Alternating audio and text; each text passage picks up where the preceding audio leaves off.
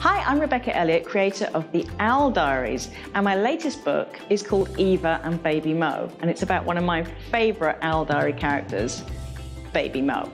Yep, yep, you're good, come on. So Baby Mo is just super cute and it was so good to do a book all about him. Although he does have some stinky diaper issues. Yeah, you can you can go now. Okay. Bye. I've always, always loved drawing and coming up with characters ever since I was really, really little. So drawing Eva is just an absolute joy for me. I just, I love it. I have the best job in the world. In the book, Eva and Lucy and Haley decide that they are going to babysit for baby Mo so that Eva's mum and dad can go out and go skydancing. So they do a to-do list, of course, of all the stuff they're going to do for, to be great babysitting. First, they make loads of toys like these for baby Mo out of pine cones that they found. Then they make him loads of candy.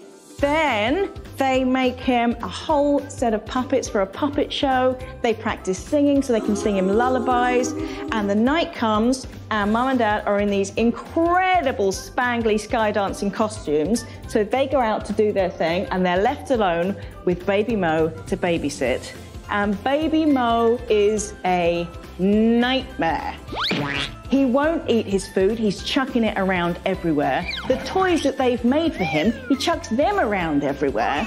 And he won't go to sleep, he eats all the candy in one go, so he's just bouncing off the ceiling. So, will baby Mo ever let them change his stinky diaper? Will they ever get him to calm down and go to sleep? What will mum and dad say when they come home? And will they ever let Eva babysit again?